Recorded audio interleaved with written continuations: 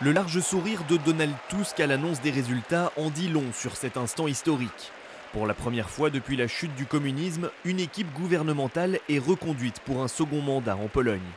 Avec 39% des suffrages, les libéraux de la plateforme civique s'assurent 4 ans supplémentaires au pouvoir. Je crois dans le fait que ces quatre prochaines années seront meilleures, plus efficaces et seront pareilles à celles dont nous avons rêvé pendant dix ans depuis la création de la plateforme civique. Avec environ 30% des voix, le Parti conservateur Droit et Justice se classe deuxième et se maintient comme le principal parti d'opposition polonais. Son président Jarosław Kaczynski affirme néanmoins que la Pologne a besoin de très importants changements. Comme l'annonçaient les sondages, la surprise est venue de Janusz Palikot, dont le parti anticlérical de gauche devient la troisième force polonaise. Avec 10% des suffrages, il humilie notamment le Parti socialiste polonais, qui tombe à la cinquième place.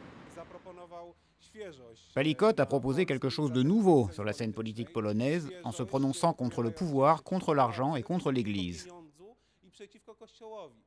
Malgré cet excellent résultat, c'est la dernière coalition entre la plateforme civique et le parti paysan polonais qui devrait être reconduite et il n'y aura pas de place pour le parti de Palikot. Pour l'heure, les journaux polonais saluent la victoire des libéraux. Enfin de la stabilité, titre l'un des principaux quotidiens de centre-droite, ce qui résume assez bien le sentiment général qui règne en Pologne.